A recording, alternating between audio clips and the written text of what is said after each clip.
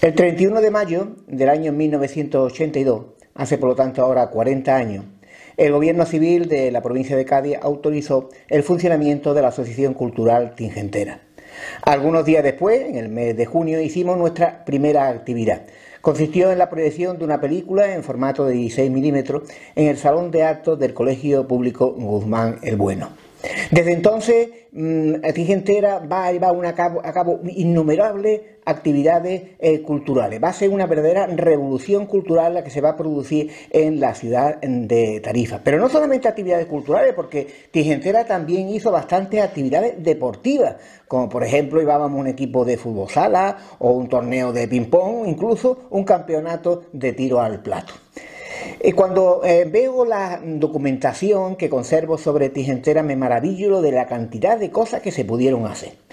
Mm, para resumir, pues yo señalaría principalmente tres, tres cosas que hizo principalmente eh, Tigentera. Eh, la primera de ellas es el cineclub.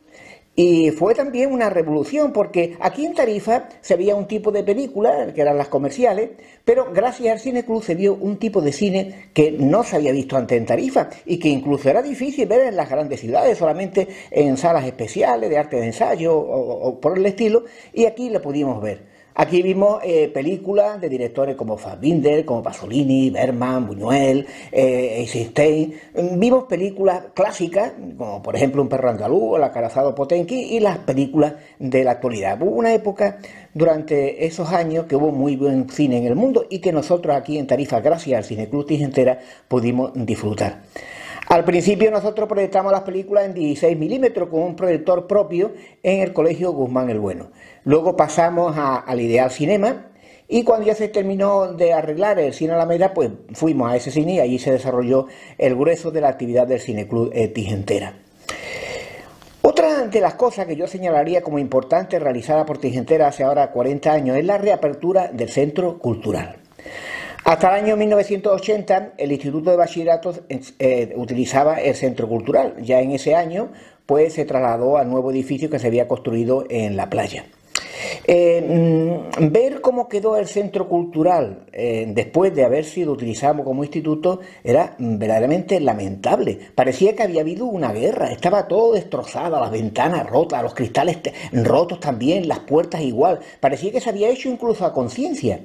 Entonces lo que hizo Tigentera es llegar a un convenio que firmó con el ayuntamiento que le cedía el centro cultural. Con muy escasos medios, mucha ilusión y la colaboración de mucha gente, pudimos arreglar el centro cultural hasta el extremo de que pudimos abrir las puertas al público. En cuanto al material, pues lo buscamos por donde podíamos, así que recuerdo que nos trajimos unos pupitres de la Escuela de Arte y Oficios de Algeciras, o vimos arrinconados unas butacas que fueron utilizadas por la OGE, por la antigua organización juvenil de la Falange, entonces nos las llevamos allí al centro cultural, las arreglamos y funcionaron muy bien en el salón de actos. Como tercera actividad notable que creo que hay que señalar de, de Tigentera es la publicación de la revista de información general Baelo. Para que se tenga una idea de lo que significó Baelo eh, en su momento, decir que desde el año 1935 no, no había prensa eh, local en Tarifa. Hubo que esperar 48 años para que apareciera Baelo. Baelo fue un impacto extraordinario en la población porque entonces lo único que salía de Tarifa en la prensa era mmm, algunas líneas, muy pocas, y de muy tarde en tarde en el diario de Cádiz, a lo que añadir pues, algún articulito que escribía Francisco eh, Terán Fernández en, los programas de feria, y ahí se acababa todo.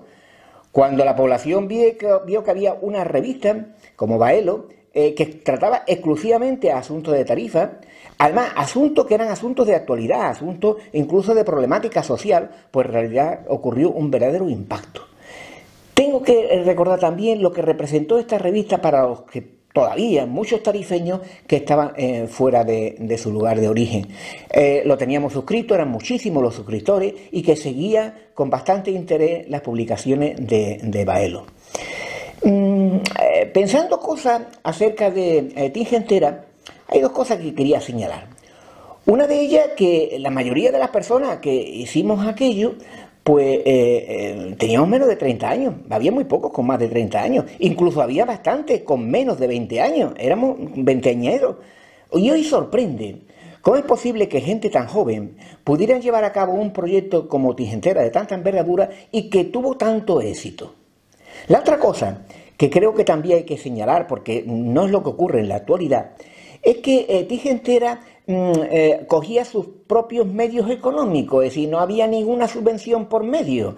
Entonces, eh, nosotros teníamos una cuota de socios de 300 pesetas, llegamos a tener bastantes socios, más de 400, y, la publicidad que poníamos en la revista o en algún otro folleto que hacíamos, y con esos escasos medios económicos y con la voluntad, el interés y el apoyo de muchísima gente, se hicieron innumerables actividades, como digo, culturales y también deportivas.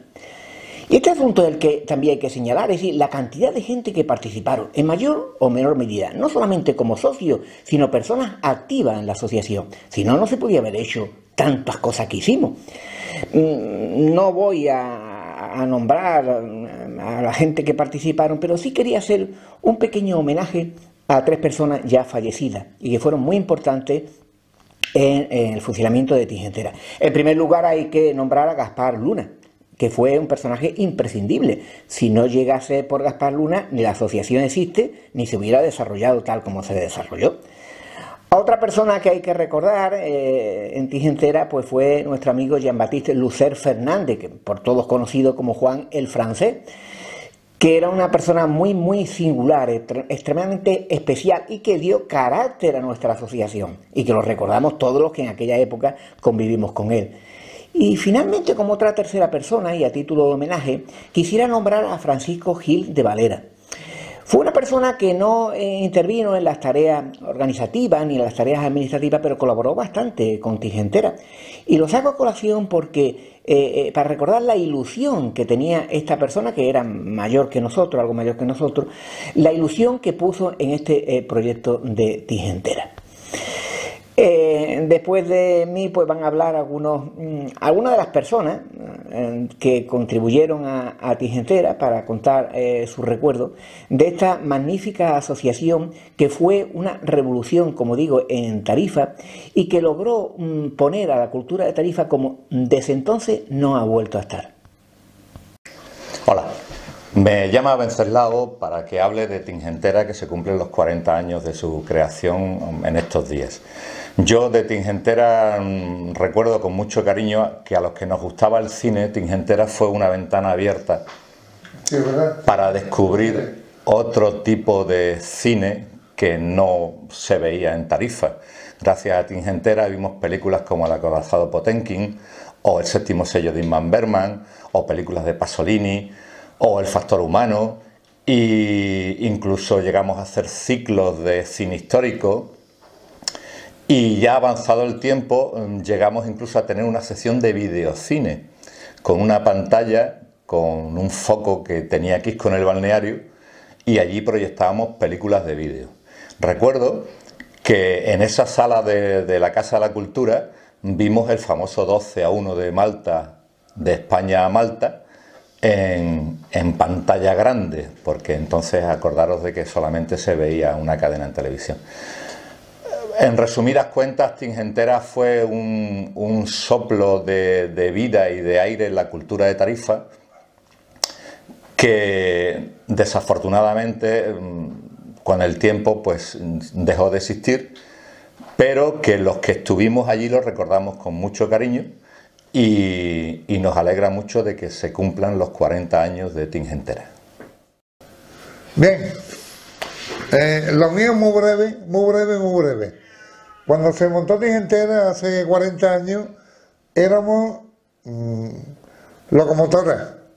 Wenceslao Segura, mi amigo Gaspar, que para descanse, mi amigo Manolo Rojas, mi amigo Andrés, eh, más gente, teníamos unas ilusiones tremendas, queríamos hacer cosas, hicimos cosas por la cultura, y es que no sé más qué decir, eh, es que ya está. Hicimos, hicimos cosas y punto. ¿Ha quedado hecho? ¿Se acuerda alguien? No. Los, viejitos, los que estamos aquí. Pues el lago me está mirando detrás de la cámara y yo, y poco más. y ya está. Se acabó. Bueno, pues yo de los inicios de Tingentera lo que mejor recuerdo es lo, que trabajamos para poner en marcha el centro cultural, para, para, poder adecuarlo, limpiarlo y demás. Y recuerdo aquellas reuniones, recuerdo sobre todo la edad. Yo tenía, yo tenía entonces, no ya tenía 20 años todavía. La ilusión que teníamos para hacer cosas. Y cuando pusimos en marcha el Cine Club, y la gente estaba encantada, y la cultura en Tarifa se movió muchísimo. Y en fin, eso es lo que yo recuerdo de Tigentera. Ya han pasado 40 años y bueno, ya hemos sido mayores, pero yo siempre tendré el recuerdo de aquellos comienzos y aquella ilusión de aquella época. Bueno, pues hablar de Tingentera, yo recuerdo que empezamos en el instituto y allí en una clase teníamos pues todo para hacer socios, pues para mandar las cartas a los socios, la revista cuando empezábamos y ya de allí nos trasladamos después al centro cultural, que ahora hace poco he estado allí y no lo he reconocido, por cierto. Y, pues no sé, pues me acuerdo de muchas cosas, que tenía yo muy mala letra y Juan era el que apuntaba a los socios en, en el libro este que no sé cómo se llama. ¿Qué más? Pues, pues nada, me acuerdo de Paco, Venceslao, pues muchas, muchas tardes con ellos. Recuerdo que los viernes, ¿no? Creo que eran los viernes, hacíamos cineclub. Y, y muy bien, siempre iba bastante gente. También recuerdo que muchos viernes o los sábados cuando quedábamos, porque quedábamos casi todos los días, yo no recuerdo por qué, pero casi todos los días íbamos allí a, hasta un ratito. Sería como que estábamos a gusto. Y después, muchos viernes algún sábado, también íbamos a tomar una copita y a una cervecita ahí a la, eh, la calle de Jerez, en la calle de la Luz. Eh, no recuerdo el bar cómo se llama, la puerta de Jerez creo que dice Venceslao ahora que se, se llamaba así. Y también echábamos allí nuestro ratito de ocio, aparte de, de trabajar un ratillo, pegar muchos sellos, que pegué muchos sellos, ya no sabía cómo lo iba a pegar porque teníamos el cacharro este de pegar los sellos y ya echábamos el agua en la mesa a ver si así era más rápido. Eh, no recuerdo a ver la manera más rápida de pegar tantos sellos eh, para mandar las revistas y, y nada, que fue una época muy bonita, que me encantó estar con ellos, de, lo que pasa que me fui de, aquí, de Tarifa y, y ya pues eso se, se perdió que hubiera seguido con ellos seguro en otros proyectos y otras cosas. Hablar de Tigentera es hablar de, un, de la cultura tarifeña. En los años 80 eh, se creó esta asociación con la idea de fomentar la cultura en Tarifa. Todo el grupo de, de socios de, que nos reunimos pues eh, teníamos esa, veíamos que Tarifa culturalmente estaba un poco apagada. Había resurgido algo con el carnaval, pero lo que es la cultura estaba totalmente apagada. Desde Tigentera, pues conseguimos llevar al pueblo de Tarifa a través de una revista, la revista Baelo, le llevamos muchas inquietudes que tenía el pueblo, con artículos importantes, con referencias importantes a problemas que, aún, que todavía lamentamos, porque entre ellos uno de ellos, la pérdida de, lo que digamos era el regimiento que se iba de Tarifa. Los militares eran una fuente de ingresos de Tarifa que se perdió, que se perdió totalmente, y, eso lo llevamos. También eh, se hacían cosas culturales, como famoso fue eh, las carreras de ciclistas que hubo en las barriadas, en la barriada de Virgen del Carmen, y también alrededor de lo que es la los pabellones militares por la Alameda, pues usted tuvo unas actividades que tuvieron gran, incluso renombre a nivel mm, provincial. Eh, con estas actividades que pretendíamos dar a conocer el pueblo y que Tarifa, que estaba un poco adormecida, despertara. Y se consiguió. Se hizo también la revista Baelo, una revista que no solamente era informativa, sino que también tenía mm, entrevistas de, calado. Me acuerdo precisamente una de ellas que era, fue al primer ministro de Gibraltar, José Hassan, Y este hombre, pues, nos habló, de, que me dijo tajantemente, Gibraltar siempre será británico. Eh, entre ellas, artículos de fondo extraordinarios que, como uno que hizo, bueno, ya fallecido, Jean-Baptiste Lucet, que él hablaba del de, el tema del agua, el agua peligrosa y cara. Eh, otros artículos, los muertos, un negocio de vivos, son cosas que son actualidad en la vida diaria nuestra hoy. ¿Qué ocurre?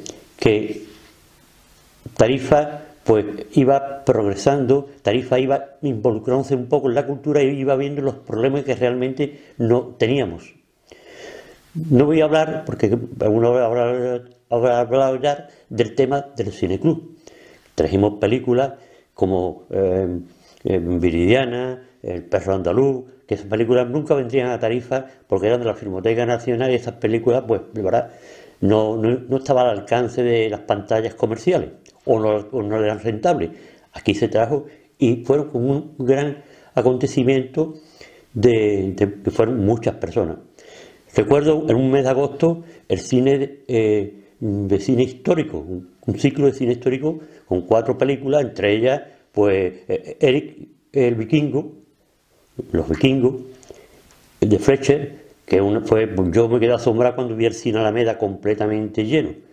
Eh, otra, eh, Amarse en Puerto Oscura, una película eh, que, tiene mucho que ver con, bueno, con la liberación de un preso que se sigue haciendo en, mucha, en, mucha, en Semana Santa. pues todo esto fue fomentando en Tenerife una vida cultural que se había perdido. Lamentablemente los tiempos cambian y todo se va adaptando. Estamos hablando de los años 80. La televisión ocupa una plaza importante y la gente, por el cine prácticamente ha desaparecido. Pero bueno, de películas se podía hablar muchísimas, de las que se echaron en, el cine eh, Alameda, en el cine, en el Ideal Cinema, relacionada con, con, los propietarios de estas instalaciones ellos al principio estaban un poco remisos, luego vieron que aquello era sentable a mano poder. Los socios tenían una ventaja que mm, mm, no pagaban y tenían eh, el eso que llenaban la, sala. Eh, me acuerdo una que fue la naranja mecánica que vino para un día y se quedó dos o tres días protestando porque es que el cine se llenaba, en el ideal cinema. Todo esto hace que, que Melaria, que fue digamos una mención cultural, pues con el tiempo esto em, desaparece, como todas las cosas desaparecen, pero sí se guarda el recuerdo de haber sido los pioneros en este movimiento cultural que hubo en Tarifa en esa, en esa época. Bueno, pues nada, pues mm, recordando cosas de Tijentera, pues hay muchas cosas que lógicamente no me acuerdo, fueron muchos años, lo pasamos muy bien, eran momentos buenos Recuerdo que con Gaspar Luna, Venceslao, pues recuerdo la recogida de socios, la captación de socios que la hacíamos eh, por tarifa, nos íbamos al central, nos sentamos allí, y Gaspar que tenía mucha pala, pues cada vez que pasaba uno, eh, eh, se lo sentaba allí, se echaba una cerveza, pum, y lo hacía socio. Y así pues una cantidad de de gente que conseguimos hacer los socios. Una de las cosas que teníamos era el tema de la, del cine y, y echamos películas, conseguimos echar algunas películas. Recuerdo que una de las veces era en el, en el teatro, en el teatro no, perdón, en el, en el colegio Guzmán Bueno, en el salón de actos, y entonces teníamos una máquina, no sé si era de 8 milímetros, de 16 milímetros, no me acuerdo.